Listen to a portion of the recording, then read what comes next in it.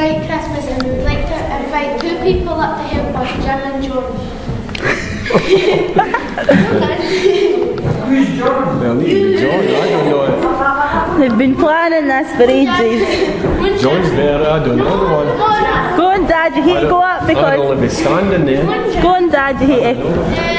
John, you know. Give him a cheer, give him a clap. Give them a clap. I'm singing about Christmas. You know, I'm going to kill them all. Hey, you ready, Kieran? Okay then.